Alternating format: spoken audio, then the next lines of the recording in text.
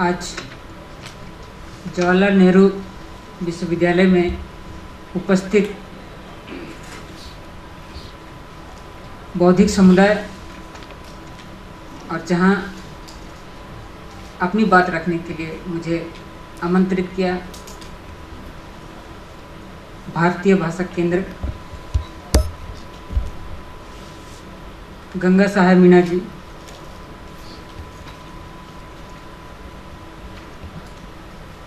भाषा को लेकर के समाज और समुदाय में, खासकर कुल्हान में, एक नई प्रवृत्ति आज के युवाओं में आई है जवाहरलाल नेहरू ने एक बार कहा था the language problem is almost always exceedingly important from the psychological point of view. It is absolutely clear to me that government must encourage the tribal languages.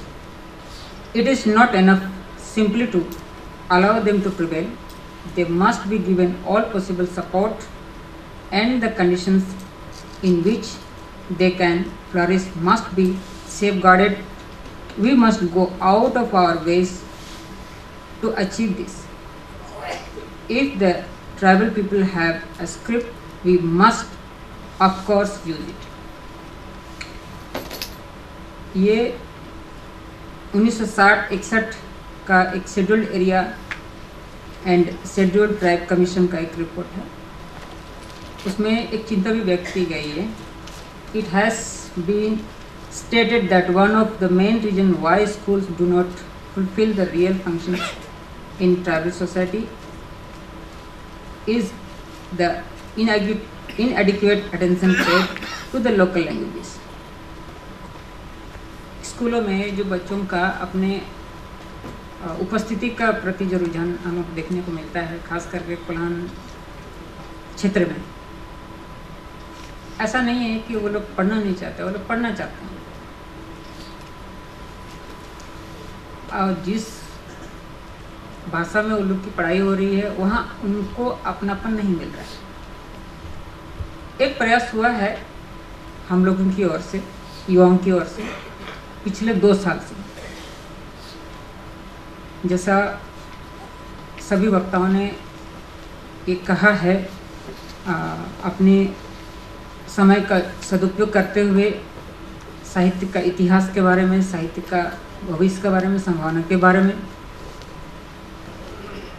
हम उन लोगों को कैसे जोड़ेंगे जो मेरे गाँव घर में आँगन में खेलते हैं वो बच्चे।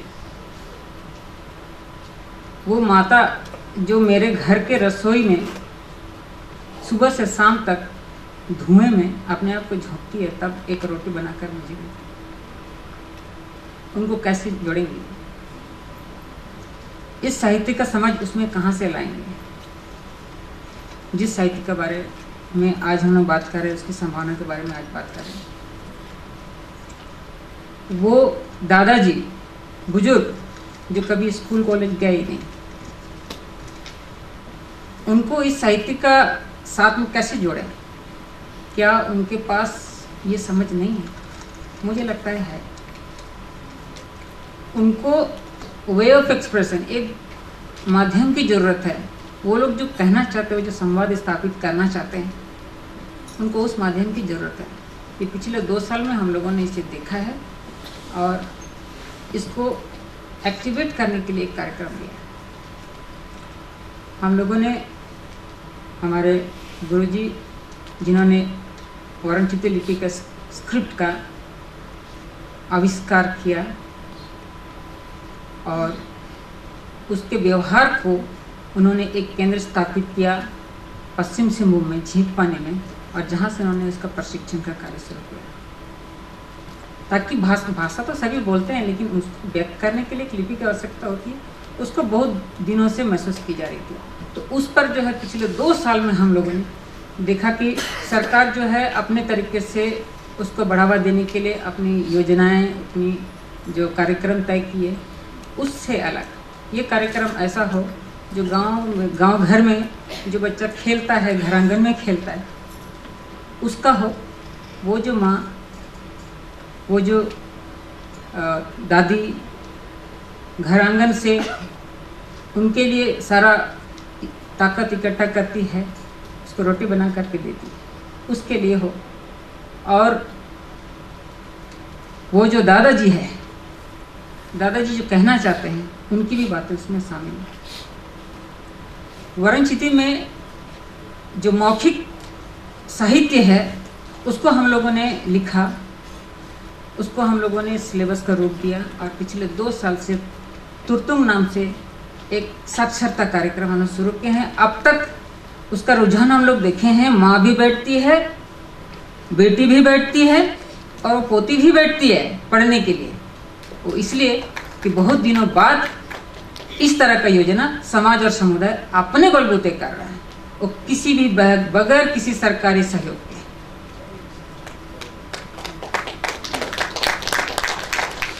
चुपचाप वो लोग अपना काम कर रहे हैं। मेरे साथ करीब 250 विद्यार्थी जुड़े हैं। अपने अपने स्तर पर बगैर किसी सुविधा, बगैर किसी सहयोग का लालच लिए। निस्वार्थ भावना से वो अपने अपने क्षेत्र में लगे हैं। आज मैं यहाँ बैठा हूँ। आप लोगों से संवाद स्थापित कर रहा हूँ। लेकिन वो लोग अपने काम के साथ कहीं ना कहीं इस वक्त एक क्लासरूम में बैठे हैं और वो अपना क्लासरूम चला रहे हैं। कुलान सकम एक प्रयास था कि जो हम लोग कहते हैं, उनको एक मंच की ज़रूरत है। वो मैंने कुलान सकम को शुरुआत किया अपने करीब दो हज़ार का पूंजी में। और निरंतरता तो नहीं चल पाई है, क्योंकि हम लोग देखे हैं कि जो लोग पत्रकारिता में आते हैं या पत्र शुरू होता है, चलता है, बंद होता है, उस तरह की स्थिति में हम लोग भी आए हैं। लगातार दो साल चला, फिर छूटा। फिर मतलब सब काम जो है हम लोग को करना पड़ा। तो साहित्य के क्षेत्र में ये वरणचिति का जो तुरतुम का कार्यक्रम शुरू हुआ तो हम लोगों ने देखा कि बहुत सारे जो बोलना चाहते थे, इस वरणचिति को सीखने के बाद में अब लिखना शुरू कर रहे हैं। मेरे पिताजी खुद पढ़ाई शुरू कर रहे हैं, पचासी साल की उम्र में। उनका जो वे ऑफ़ एक्सप्रेशन है, अभी हमको आ रहा पिताजी को मैं अभी जान रहा हूँ कि उनके पास क्या सोच है। वो मेरी एक चाची है, वो गीत गाती है अब मुझे पता चला है कि उसको ये नहीं मिला था अब वो लिख रही है। उसकी उम्र है पैंसठ वर्ष। तो वैसे लोगों को हम साहित्य के क्षेत्र में अब लेके आना चाहते हैं या उनकी भावनाओं को अब मंच देना चाहते हैं तो देखते हैं क्या कि कुछ कुछ लेखक आ रहे हैं इसमें एक आ, उनका जो रचना है हमारे सामने में एक दा गमारिया कहानी। पानी आज हमारे पृथ्वी की ज़रूरत है और इसका उपयोग भी हम लोग देख रहे हैं, इसका ज़रूरत भी महसूस कर रहे हैं। ज़िम्मेदारी इसको बनाए रखने के लिए, बचाए रखने के लिए नहीं। चौके, यानी मेंढक मरा मोर सीयू कृषक, हल जोतने वाला, गमा, रिमिल, बादल। ये सब का आपस में एक रिलेशन है। एक लेखक ने इसको कहानी के रूप में पिरोया मेढक को कहीं मैं अपना मेढक का जो टार्टर है, भूल ना जाऊँ, बोल करके वो भरी गर्मी में प्रैक्टिस करता है। कहीं ये आने वाली पीढ़ी भूल ना जाए ट्रैक्टर का ना, अब कर रहे हैं। पसीना पसीना हो गया है तरबतर हो गया, उसकी कहानी में ही है। और वो टरटर आ रहा है, भरी दुबरिया में। उसके पीछे पीछे में एक मोर जो है, आया। क्या बेवकूफ़ी कर रहा है, इतना धूप है, कहाँ बारिश आएगा? बारिश तो होगी नहीं। बोले, अरे भाई, उसके लिए मैं नहीं कर रहा। मैं इसलिए कर रहा हूँ, कहीं ये मेरा जो जनरेशन है, वो ट्रैक्टर आना ना भूल जाए। तो ये जो मोर है ये बोलना शुरू किया। अरे ठीक ही तो कह रहा है। कहीं मैं भी नाचना ना भूल जाऊँ मोर वो नाचना शुरू कर देता तो इधर टटर का काम हो रहा है, इधर मोर नाच रहा है। उन दोनों को देख करके जो हल जोतने वाला है, आया है देखा अच्छा। मैंने हम ही बेवकूफ़ है। इतना मैंने धूप में जो है आप लोग मेरा आप टटरा दिखा रहे हो और ये जो नाचना दिखा रहे हो। तो बोले कि दोनों मिलकर के नहीं भाई, ऐसा कोई बात नहीं है। ये हम लोग का ड्यूटी हम लोग जनरेशन का जो ये जो स्वभाव है, उसको बचा के रहना चाहते उसी लिए टाटार आ रहा है मैं जो है नाचना शुरू कर तो उसको देख करके उसको लगा कि हाँ धूप तो है, धूप भी हो रही कहीं ये हाल चलाना ना भूल जाऊँ। मैं भी हल चलाना। वो जो हल चलाना शुरू किया। हल चलाना शुरू किया तो उसको देख करके बादल बोलता है, क्या तुम लोग जो है ये सब कर रहे हैं? बेवकूफ़ी कर रहे हैं? इसे क्या होगा? तो उसको भी वही बात वो लोग बोले कि अगर हम लोग अपना काम करना छोड़ दें तो शायद अपनी जो ज़िम्मेदारी उसको हम लोग करें। जनरेशन के लिए वो कंटिन्यूस चला रहे हम लोग ये चीज़ कर रहे हैं। तो उसको भी लगा हाँ बादल भी कहीं बरसना ना भूल जाए। मैं नहीं बरसूँगा। भी बरसना शुरू ये कहानी एकदम नए लेखकों ने ले आया है। तो ये जो परि, परिघटना है, वो बता रहे हैं कि सबको अपना अपना ज़िम्मेदारी अगर किया जाए तो ये प्रकृति का जो चक्र है, वो चलता रहे। और एक कहानी है, वो पक्षियों को पकड़ करके पिंजरे में रखने का जो बात बता रहे हैं, उसी में ही एक कहानी है, रामी और आया मैना और उसका तकलीफ़ मैना जो है इंसानी बोली को बहुत जल्दी सीखता है बहुत स्पष्ट तो उसको जातुआ एक चरित्र है। जातुआ जो है, वो मैना को पकड़ लाता है अपने पास में, बहुत छोटे में, जो घोंसला से उठा लाता है।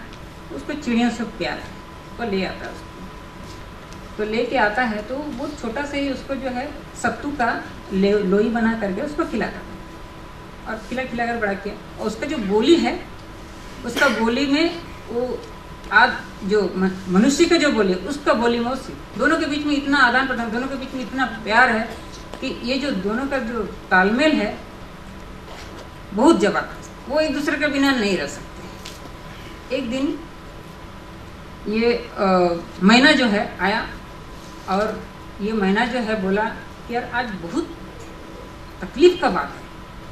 हम एक सुंदर सी मेरी प्रेयसी को हम देख लिए और उसको जाके हम बोलना शुरू किए। मनुष्य की भाषा में जो वो सीखा था उसी में जाके उसको अपना जो एक्सप्रेशन है उसको मैंने आ, रखा कि मैं तुमको पसंद करता हूँ।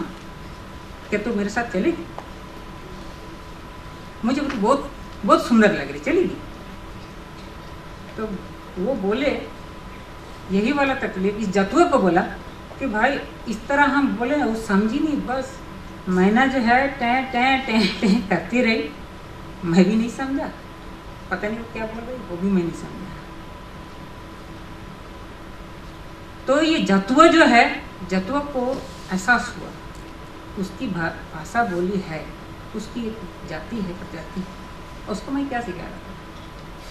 या तू ऐसा कर, दोनों के बीच में कम्युनिकेशन तो होता था, बोले, तू ऐसा कर, तू जा आज से ही तू जा अपने बिरादरी में जा बिरादरी में जा अपनी भाषा सीख और जिसको तू पसंद करता है उसके साथ घर बसा। और जब घर परिवार बन जाए तो मेरे को बता देना भैया कि मेरे से एक जो गलती हुआ था हम इसका जो है इस तरह का एक कहानी आया है। उसके बाद एक आ, हमारे बीच में मेरे एक साथी हैं। घनश्याम बोधरा यहाँ एयरपोर्ट अथॉरिटी ऑफ़ इंडिया में स्टाफ हैं। नितिन में। ये दिल्ली में मौजूद हैं आप लोगों के लिए। और लिखते हैं एक अपने प्रयास से डीएम का जो है ये नया प्रोडक्ट तैयार हो रहा है। और हमको लगता है इसको उन्होंने फेसबुक पे पोस्ट कर रखा है। उनके पास एक कहानी तो बहुत पहले की बात, जब हम लोग से काम शुरू करते कंपोजिंग का काम यही करते थे। तो ये उन्होंने एक कहानी लिखी थी जिना मैं, उनका तो साफा है, जो चेहरे का जो खूबसूरती है, क्या ये पुस्तकें लाती हैं? बढ़ाती है? तो उसमें एक कहानी है, एक गाँव गाँव का एक पिता का कहानी है, जो एक मिल का बंद होने के बाद साबुन बेचते थे। झोला में रखते थे साबुन और घर घर गाँव गाँव जाते थे और साबुन बेचते थे। साथ में कुछ किताबें भी। तो में वो जो चरित्र पात्र है, वो घर घर जाकर के घर लगाता है और बोलता साबुन ले लो, साबुन ले लो। तो साबुन का तो यहाँ एक से एक इस्तेमाल करने वाले लोग मैं तो बचपन से ही लाइफ बॉय साबुन से नहाता हूँ। लाइफ बॉय है जहाँ तंदुरुस्ती है वहाँ।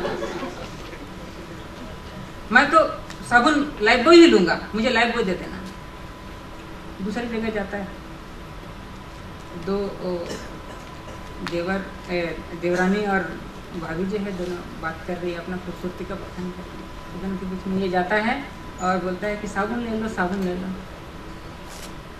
वहाँ साबुन बेचने जाता, दोनों के बीच में कम्युनिकेशन के बीच साबुन कहाँ से आ गया? अच्छा ठीक है, जो साबुन लेके आया तो साबुन लाओ। देखो डब ही देना मुझे। मुझे डब बहुत अच्छा लगता है। और वो बोलती है, अरे डब थोड़ी काम करता है। अभी तो पर्स आ गया है। पर्स यूज़ कर। तो सब अच्छा साबुन आप लोग जो जो चाहिए आप बोल दीजिए। साथ में किताबें भी लाया हूँ। क्या किताबें चाहिए तो बोलिए। अरे, छोड़ो छोड़ो। क्या किताबें हैं पढ़ने से चेहरे का खूबसूरती जो उसमें लिखा रहता है क्या? ये इनका कहानी है। तो ये यही जो बात है इस तरह की जो कहानियाँ हैं है हमारे हो समाज समुदाय के बीच में।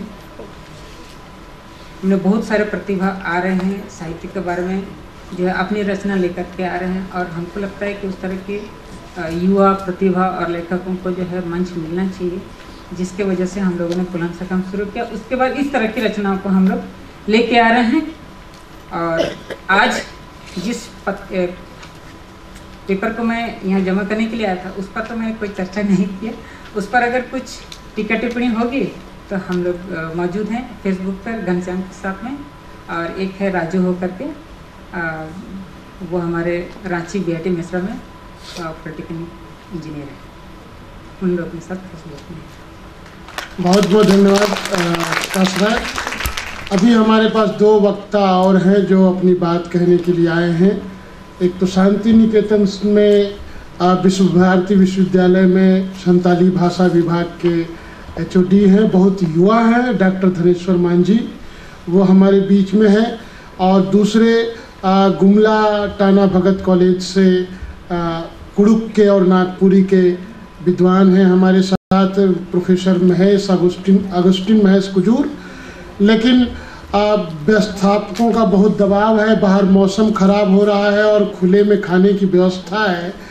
तो ये बहुत क्षमा के साथ कि हम कल के सत्र में इन दो विद्वानों को सुनेंगे और अभी हम लोग सब लोग भोजन पे चले। इस इस एक बात के साथ मैं बात को अपनी ख़त्म करूँगा। दो मिनट आपसे चाहूँगा। कि एक गीत है हमारे झारखंड में बहुत गूंजता है नागपुरी भाषा में। मोर अठारह साल हो गया करे हे दादा मोर बिहा करा दे हे आयो मोर बिहा करा दे। ये गीत आपको एक यौन प्रेम की आकांक्षा का गीत है। आ, लेकिन इसमें एक बहुत बड़ी बात है जिसकी तरफ़ से जिसकी तरफ़ हमारे साहित्य विज्ञानियों का समाज विज्ञानियों का ध्यान और हम लोग भी चूक जाते हैं। उसको समझने की ज़रूरत है। जिसकी कहानी आ, अंत किया उन्होंने कासराय जी ने कि क्या किताबों को पढ़ने से चेहरे पर खूबसूरती आती है। धन्यवाद आप सब लोगों का। नेक्स्ट सेशन में हम लोग मिलते हैं। छूट गए सवालों को आगे बढ़ाते हुए। धन्यवाद। भोजन पे आप सभी लोग आमंत्रित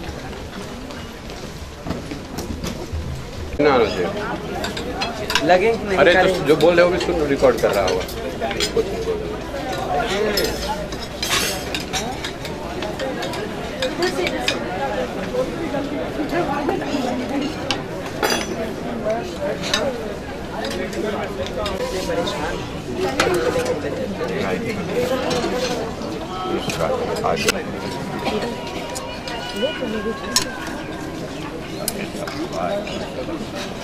기회가 이렇게 앞에들이 이렇게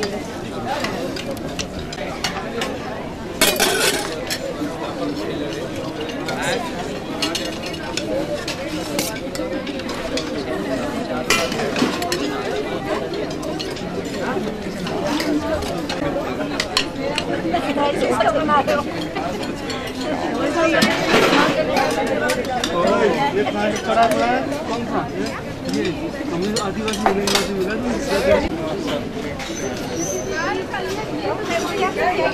मुझे पकड़ा दे तो उधर से घुस उधर से।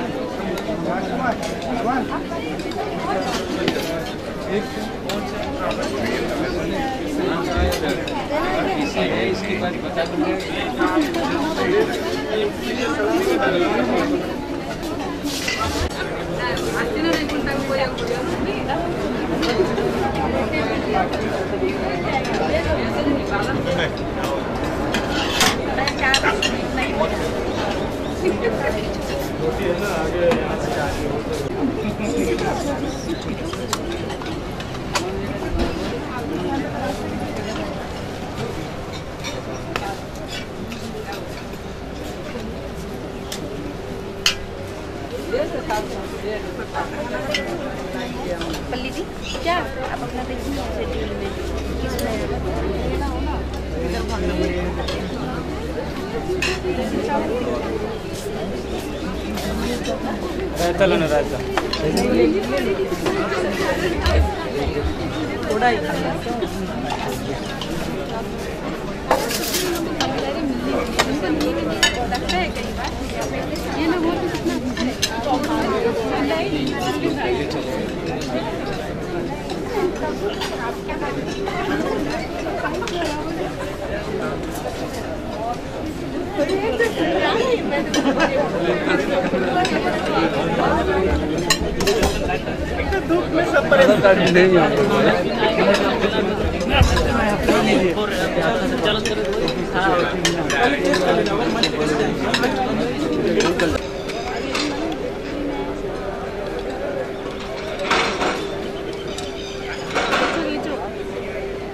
भैया थोड़ा और खाना ले आते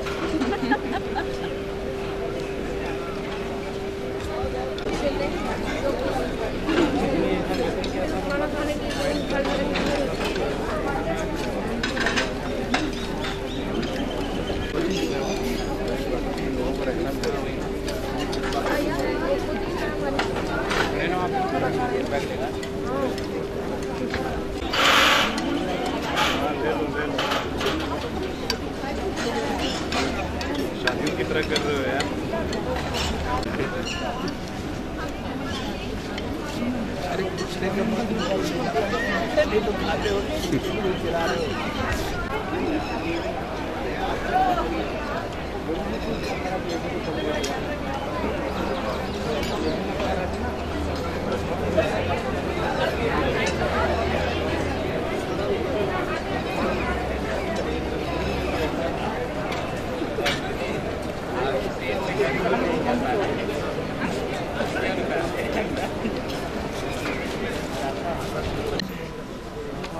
लंच के बाद एक बार फिर आपका स्वागत है।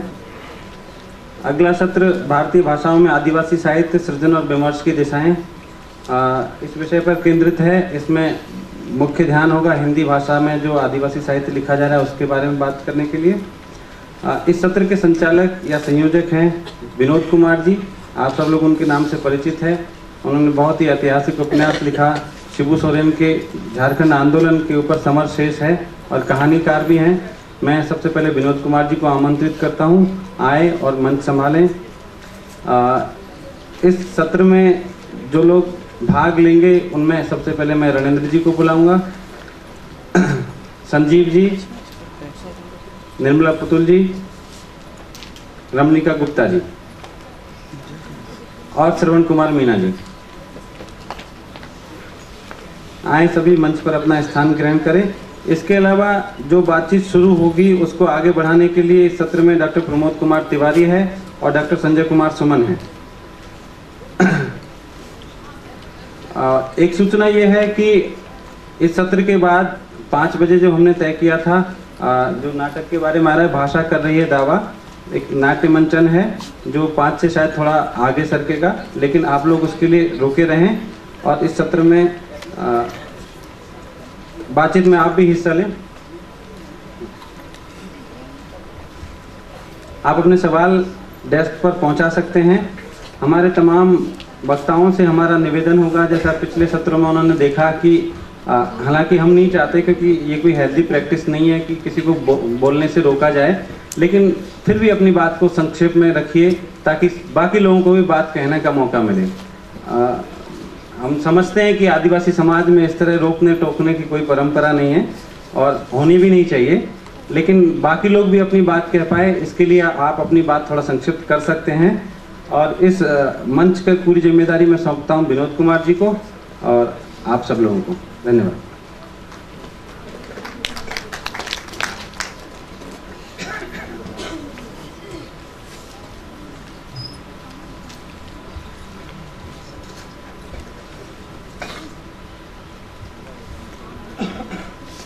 सम्मेलन के दूसरे सत्र में हम सभी का स्वागत करते हैं।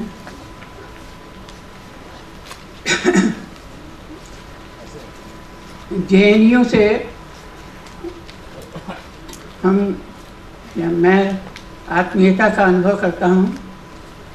मेरे मित्र जो इतफाक़ से यहाँ नहीं हैं वीर विभाग तलवार यहाँ नहीं हैं, वो इसी विभाग को संभालते हैं, भाषा विभाग को। हमारी एक और दूसरा सहपाठी मित्र रमन सिन्हा, यहीं डॉक्टर रमन सिन्हा यहीं हैं। मेरे और एक पुराने दिनों के मित्र तो नहीं कहेंगे, देवेंद्र चौबे यहाँ हैं।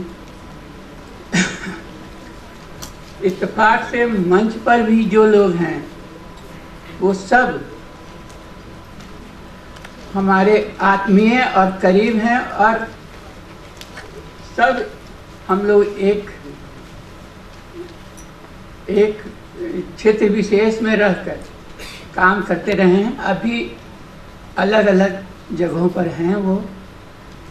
चाहे रमलिका गुप्ता हूँ, जो जिनका कार्य क्षेत्र मूलतः कोयलांचल और वही इलाका था अब वो दिल्ली में हमारी प्रवक्ता हैं, आदिवासी समाज की, और उनके पक्ष की बातें करती हैं। संजीव जी, उपन्यासकार, कहानीकार उनका क्षेत्र वे कोयलांचल रहा है, धनबाद में थे, अभी वो दिल्ली में हैं। रणेंद्र जी का तो दिन रात का साथ है, वो भी रांची के हैं, वहीं हैं। और मैं खुद बोकारो, रांची। इसके अलावा एक साथी और हैं। उनसे मीना जी